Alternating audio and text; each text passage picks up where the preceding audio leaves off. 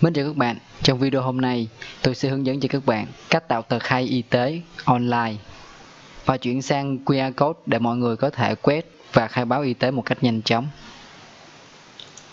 Và QR code nó như thế nào? Đây là QR code và sau khi các bạn làm xong thì các bạn chỉ việc in QR code này ra tờ giấy và dán ở những vị trí thuận tiện cho mọi người có thể quét và mọi người có thể khai báo y tế một cách nhanh chóng thông qua điện thoại có kết nối internet hoặc là 3G. Và để làm được file này thì chúng ta cần chuẩn bị gì? Chúng ta cần có một mẫu tờ khai y tế. À, tôi cũng lên trên mạng tôi tìm rồi và tôi cũng à, tải được một cái form xuống. Và chúng ta sẽ dựa vô mẫu này để chúng ta làm tờ khai y tế online. Và tiếp theo chúng ta cần có một tài khoản Gmail để chúng ta có thể sử dụng dịch vụ điền form online của Google. Và ngoài ra nếu các bạn muốn cho QR code này thêm sinh động và đẹp hơn thì các bạn có thể thêm logo công ty hoặc là hình ảnh nào đó mà các bạn muốn thêm vào trong QR code. Cái này chỉ là trang trí cho đẹp thôi, chứ nó cũng không có vấn đề gì đâu. Các bạn có thể làm hoặc không làm. Và trong video hôm nay tôi sẽ hướng dẫn cho các bạn luôn nha. Vì vậy tôi sẽ có một logo. Đây là logo mà tôi sẽ thêm vô trong à, file QR code. Rồi, bây giờ chúng ta sẽ bắt đầu. Tôi sẽ truy cập vào trình duyệt web và tôi sẽ đăng nhập vào tài khoản Gmail. Đầu tiên tôi sẽ tìm kiếm với từ khóa là Gmail. Và tôi sẽ truy cập đến trang Gmail. Ở đây tôi sẽ sử dụng tài khoản Gmail mà tôi đã có sẵn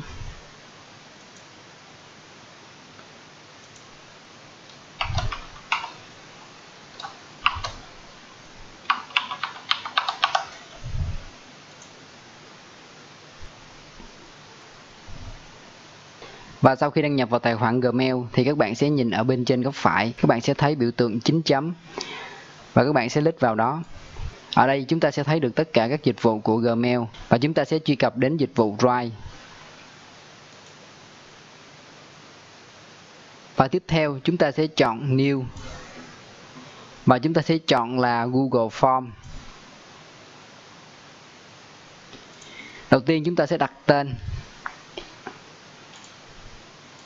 đầu tiên tôi sẽ đặt tên cho form này đó là khai báo y tế.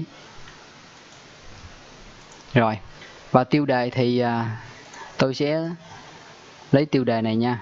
Thông tin khai báo y tế nè. Rồi tôi copy tôi dán vô. Bên dưới này sẽ là mô tả cho cái form. Thì à, chúng ta có thể là ghi là phòng chống Covid-19 gì đó. Cái này tôi copy dán cho nhanh. Và đây là phần thông tin đầu tiên, thì à, chúng ta sẽ có một cái tiêu đề. Rồi, phòng chống covid gì đó. Và sau khi nhập xong, các bạn muốn biết cái form sẽ như thế nào, thì các bạn sẽ lít vào biểu tượng hình con mắt ở bên này nè. Các bạn thấy không? Các bạn sẽ lít vào đây. Thì các bạn sẽ thấy được cái form đó. Đầu tiên sẽ như thế này nè. Vậy là xong. Bây giờ chúng ta sẽ tiếp tục và tiếp theo đó là phần họ tên thì chúng ta sẽ cho người khai báo điền đầy đủ tên ở đây. Vì vậy, phần này sẽ là phần đoạn văn thì chúng ta sẽ copy. Rồi, tôi sẽ dán vào phần question nè.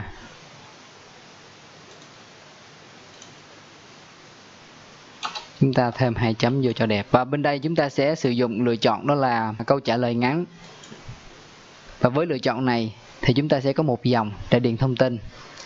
Và nếu các bạn yêu cầu thông tin này là bắt buộc thì các bạn sẽ lít chọn cái nút yêu cầu nha. Để thông tin này sẽ là bắt buộc.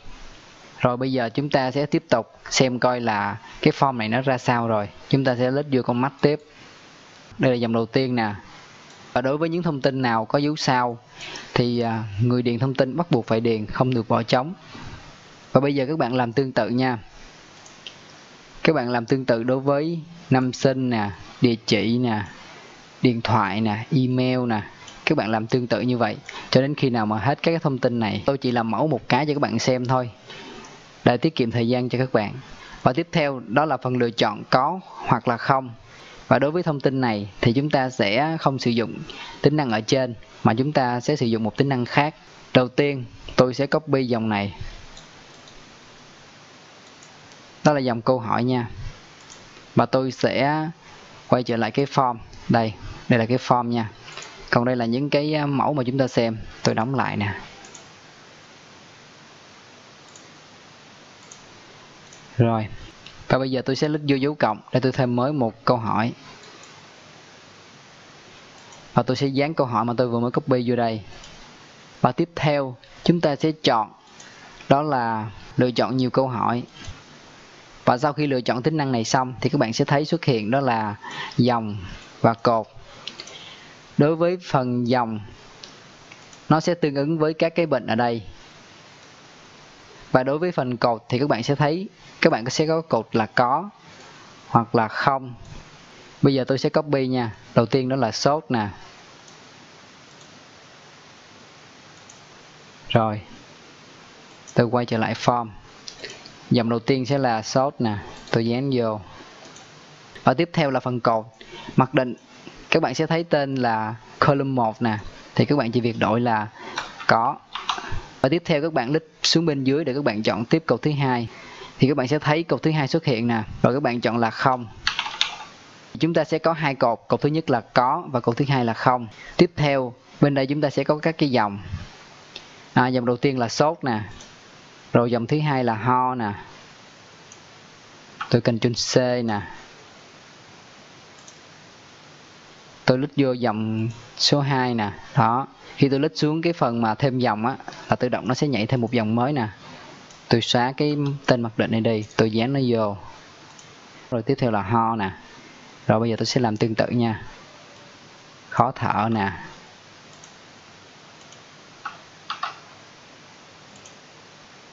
Đau họng nè.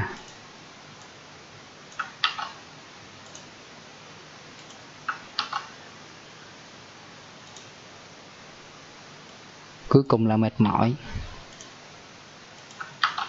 Vậy là xong. Bây giờ chúng ta đã có 5 dòng là các cái bệnh và chúng ta sẽ có hai cột. Tương ứng với các lựa chọn là có hoặc là không. Và những lựa chọn này là bắt buộc mọi người không được để trống, cho nên chúng ta sẽ lít chọn vô phần yêu cầu rồi, bây giờ chúng ta sẽ bấm vào biểu tượng hình con mắt để xem trước nha. Vậy là chúng ta đã xong phần mà điền thông tin các loại bệnh. Chẳng hạn như ở đây chúng ta có thể điền là có nè, hoặc là không nè. Các bạn thấy không? Một là có, hai là không nha. Các bạn không thể nào chọn vừa có vừa không được. Đó, các bạn thấy không? Nếu mà các bạn chọn cái nào có thì có, cái nào không là không nha và bây giờ chúng ta quay trở lại tờ khai y tế nha, để coi còn gì nữa không? Và tương tự thì chúng ta có, chẳng hạn như là câu hỏi tiếp theo đó là có tiếp xúc với ai không nè? Rồi, tiếp tục quay trở lại form. Cái này là xem trước rồi, tôi đóng lại. Tôi quay trở lại form này, tôi tiếp tục, tôi bấm thêm nè. Tôi dán câu hỏi vô đây. Rồi, tiếp tục chọn là trả lời.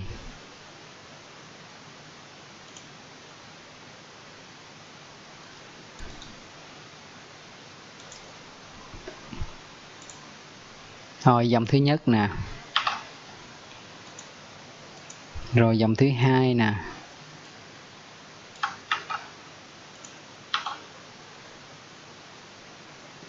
Và cột thì chúng ta sẽ có cột có và không thôi.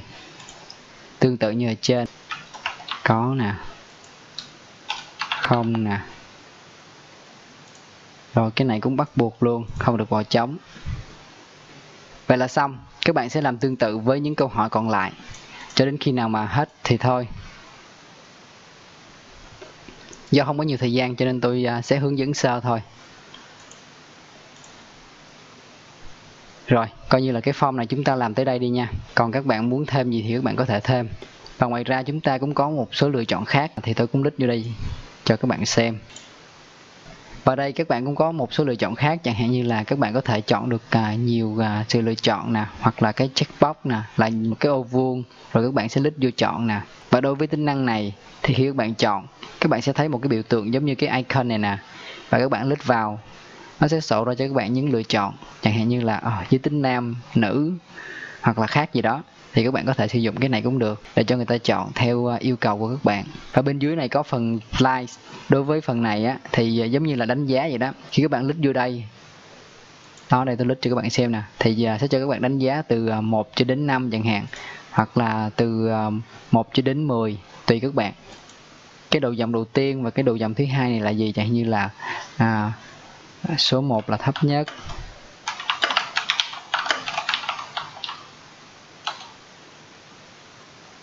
rồi. Số 10 là cao nhất. Đó chẳng hạn như vậy. À, tôi cho các bạn xem trước luôn.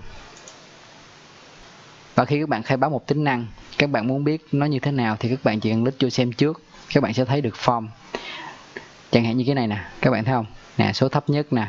Tôi vừa khai báo hồi nãy nè. Số cao nhất nè. Thì các bạn có thể lựa chọn nè. Đánh giá nè cái này thường á, nó sẽ liên quan đến việc đánh giá dịch vụ hoặc là chất lượng gì đó thì các bạn có thể chọn ở đây. Cái này nó sẽ không có phù hợp trong trường hợp này. Tôi chỉ giới thiệu thêm thôi. Nếu ai có nhu cầu thì các bạn có thể sử dụng. Rồi bây giờ tôi sẽ quay trở lại. Tiện thể tôi giới thiệu thêm cái drop down cho các bạn xem luôn. Chẳng hạn như là giới tính đi đúng không? Đó câu hỏi sẽ là giới tính. Thì bên đây lựa chọn đầu tiên là nam. Lựa chọn thứ hai nữ. Cái này tự động điền cho các bạn luôn. Cái thứ ba là khác. Đó, chẳng hạn như là có ba giới tính đi. Rồi, chúng ta coi thử nha. Bấm vô biểu tượng hình con mắt để xem trước nè. Rồi, kéo xuống bên dưới. Các bạn thấy phần giới tính không? Chúng ta sẽ có một lựa chọn nè. Click vô đây, sẽ cho các bạn chọn là nam, nữ hoặc là khác nè. Đó là phần drop down. Như vậy cũng khá là đầy đủ rồi và bây giờ chúng ta sẽ bắt đầu chia sẻ form này ra. Bây giờ tôi sẽ đóng mấy cái này lại. Các bạn yên tâm nha. Cái form này khi các bạn khai báo á, thì nó sẽ tự động nó lưu. Nó lưu như thế nào? Các bạn sẽ thấy cái tên các bạn khai báo ngay ban đầu nè. Khi các bạn vô Google Drive á các bạn sẽ thấy cái form của các bạn nè. Cho nên các bạn đừng có lo là nó sẽ bị mất nha và để truy cập vào nó thì các bạn chỉ cần đăng nhập vào Google Drive, giống như hồi nãy tôi hướng dẫn đó. Các bạn sẽ thấy được form này. Nó sẽ nằm trong My Drive. Và các bạn sẽ có một thắc mắc là khi người ta điền vô cái form này, dữ liệu sẽ lưu ở đâu? Chúng ta sẽ vào tab kế bên, đó là tab trả lời. Ở đây, khi mà người sử dụng, họ điền form, thì các bạn sẽ thấy nội dung ở đây. Bây giờ tôi điền thử cho các bạn xem nha. Chẳng hạn như là Nguyễn Văn A. Không không không không không nè. Không không. Giới tính nam. Đó, submit về là xong nha. Vậy là khai báo y tế xong rồi. Quá nhanh luôn. Bây giờ tôi sẽ quay trở lại. Và sau khi tôi quay trở lại form, thì tôi sẽ thấy cái tab kế bên này nó hiện lên số 1 có nghĩa là vừa có một người à, điền form tôi sẽ click vào đây, tôi sẽ thấy được tên người này là gì nè. Rồi họ điền là có hay không gì nè. Đây là dạng thống kê cho các bạn xem. Và nếu các bạn muốn xem chi tiết form thì các bạn click vào tab bên đây. Các bạn sẽ thấy được là người này người ta điền như thế nào nè, tên gì nè, họ chọn sao. Các bạn sẽ thấy ở đây. Và đây là cách các bạn xem trực tiếp nha. Và làm như thế nào để chúng ta có thể lưu những thông tin này ra file Excel để dễ dàng quản lý. Và để lưu vô file Excel thì chúng ta sẽ click vào đây. Các bạn sẽ thấy có một biểu tượng hình dấu cộng màu trắng nè. Chúng ta sẽ click vào đây nha. Rồi, và chúng ta sẽ nhập một cái tên cho nó và mặc định. Ở đây sẽ điền cho các bạn tên cái form mà các bạn đang sử dụng. Tính năng đầu tiên là sẽ tạo một file Excel nha, với tên là khai báo y tế. Để lưu thông tin, những người điền form khai báo y tế và ngoài ra nếu các bạn có một file có sẵn rồi, các bạn có thể chọn ở bên dưới. Tôi sẽ chọn tạo mới nha. Rồi, tôi sẽ bấm vào create sau khi các bạn bấm vào create các bạn sẽ thấy có một file excel mới. Và file này cũng mở lên cho các bạn xem luôn. Ở đây các bạn sẽ thấy được thông tin chi tiết của mọi người sau khi họ điền form. Chẳng hạn như là thời gian nè, tên nè, rồi các cái lựa chọn của họ nè. Sẽ có hết ở trong đây và nếu một người thứ hai điền thì à, sẽ tiếp tục có một dòng thứ hai. Tôi sẽ điện tiếp nha. Chẳng hạn như tôi sẽ qua cái form khai báo y tế nè. Tôi lít vô đây. Tôi sẽ điện tiếp nha. Lê thị c. À, có sốt không có không có không. Kê giới tính nữ submit. Rồi bây giờ tôi quay trở lại các bạn thấy không? Sau khi một người điền form xong, thì tự động thông tin sẽ được đưa vào trong file này. Rất là nhanh luôn. Và với file Excel này, các bạn có thể chia sẻ cho nhiều người để họ có thể vào, họ kiểm tra cũng như là giám sát trực tiếp trên máy tính. Cho dù các bạn ở bất cứ đâu, chỉ cần có kết nối internet là được. Các bạn có thể thấy được thông tin những người khai báo y tế như thế nào và có gì khả nghi hay không. Và file này sẽ lưu ở đâu? Chúng ta sẽ thấy nó nằm trong Google Drive nha. Chúng ta trở lại Google Drive nè, thì các bạn sẽ thấy có một file Excel mới xuất hiện. Và đây sẽ là file lưu trữ tất cả các thông tin cho form khai báo y tế. Và các bạn muốn chia sẻ cho nhiều người khác sử dụng, thì các bạn chỉ cần đích chuột phải vô file Excel. Các bạn chọn share. Rồi các bạn gõ địa chỉ email mà các bạn cần chia sẻ, hoặc là các bạn chỉ cần copy cái đường uh, liên kết này nè. Đó các bạn copy các bạn gửi cho họ qua Zalo hoặc là email chẳng hạn. Thì người ta chỉ cần click vô cái uh, đường liên kết nè. Họ dán vô trình duyệt web. Họ bấm enter. Thì họ có thể vô được ngay cái file này luôn. Và giả sử tôi sẽ chia sẻ cho một à, địa chỉ gmail khác nha. Tôi sẽ mở một trình duyệt web khác. Đây giả sử như à, đây là tài khoản của sếp đi, tôi sẽ lấy à, địa chỉ email này nha. Tôi sẽ chia sẻ qua đây. Đó là 7net chấm nhạc.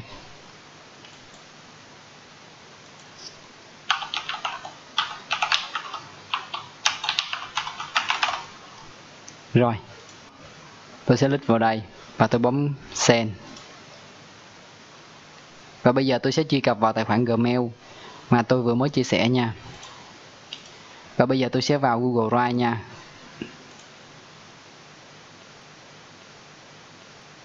Và đây là Google Drive của tài khoản Gmail mà tôi vừa mới được chia sẻ. Chúng ta sẽ vào phần được chia sẻ với tôi nè. Khi ai đó chia sẻ cho các bạn một file trên Google Drive thì các bạn sẽ thấy nó nằm trong được chia sẻ với tôi nè. Rồi chúng ta sẽ lít vào đây. Các bạn thấy không? Khi các bạn lít vào đây, các bạn sẽ thấy được một cái file à, Excel đó là file khai báo y tế nè. Các bạn lít vào các bạn sẽ thấy được file này. Và với cách chia sẻ này, thì các bạn có thể chia sẻ cho những tài khoản Gmail khác có thể truy cập vào để mà xem thông tin. Rồi, vậy là xong phần chia sẻ nha. Và tiếp theo chúng ta sẽ làm đó là chia sẻ cái file khai báo y tế này. Đây là file khai báo y tế nè và nhiệm vụ tiếp theo là chúng ta sẽ chia sẻ cái form này ra và chúng ta sẽ chuyển sang QR code để mọi người có thể dễ dàng quét và truy cập đến form này một cách dễ dàng.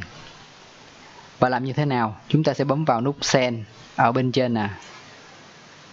Chúng ta sẽ chọn phần à, biểu tượng là liên kết nè. Ở đây là email nha. Các bạn có thể chọn là gửi qua email và các bạn nhập email người nào cần nhận. Và trong trường hợp này tôi sẽ click vào biểu tượng kế bên nè. Đó là liên kết nè và tôi sẽ thấy được đường dẫn để truy cập đến form này. Cái đường dẫn này nó dài lắm, nó rất là khó để nhớ. Các bạn có thể click vào đây nè, để nó chuyển thành một cái đường dẫn ngắn gọn hơn. Bây giờ tôi chỉ việc copy thôi, thì ờ, chúng ta sẽ click vào đây để copy. Và bây giờ thì các bạn có thể gửi đường link này để cho mọi người có thể à, truy cập vào và điện form. Đó là cách đầu tiên. Và cách thứ hai, đó là chuyển cái đường link này thành một QR code để mọi người có thể quét và truy cập một cách dễ dàng và để tạo QR code thì có rất là nhiều trang web hỗ trợ cho các bạn có thể tạo QR code online. Tôi uh, sử dụng trang web này đó là Generate QR Online. Ở đây khi các bạn truy cập vào nó các bạn sẽ lít chọn tab URL và các bạn sẽ nhập đường liên kết mà các bạn vừa copy hồi nãy. Sau khi các bạn dán đường dẫn vào đây, các bạn sẽ thấy được QR code của các bạn. Và tiếp theo, các bạn sẽ chọn phần ECC nè. Level thì các bạn sẽ chọn nó là size H nha. Là tới 30% nếu các bạn chọn size L á, thì à, nó cũng nhỏ lắm có 7% thôi. Các bạn chọn phần à, H đi 30% ở đây mặc định thì chỉ có một trăm mấy pixel thôi. Và chúng ta nên chuyển nó thành là 1.000 pixel trở lên nha. Các bạn có thể chọn là 2.000 pixel cũng được và cái pixel này, các bạn chọn càng lớn thì cái QR code của các bạn nó sẽ càng rõ. Khi các bạn in ra và các cái điện thoại quét sẽ dễ hơn. Cho nên các bạn nên chọn là trên à, 1.000 nha 1.000 2.000 gì đó. Rồi, và đây là mặc định. Và nếu các bạn muốn thêm một cái logo ở giữa thì các bạn sẽ click vào logo. Và các bạn sẽ đính kèm cái file logo của các bạn lên. Tôi có sẵn một file logo ngoài desktop này nè, tôi sẽ chọn nó. Rồi các bạn thấy không? Cái file logo của tôi đã xuất hiện rồi nè. Vậy là xong. Bây giờ chúng ta chỉ việc bấm vào nút download nè. Và các bạn sẽ đặt cho nó cái tên đó là khai báo y tế. Rồi, tôi sẽ lưu ngoài desktop.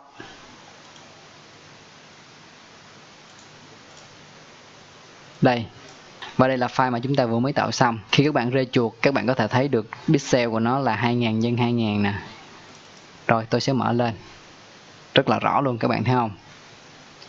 Và bây giờ các bạn chỉ việc in cái QR code này và các bạn để những vị trí thuận tiện cho mọi người có thể dễ dàng quét và khai báo y tế.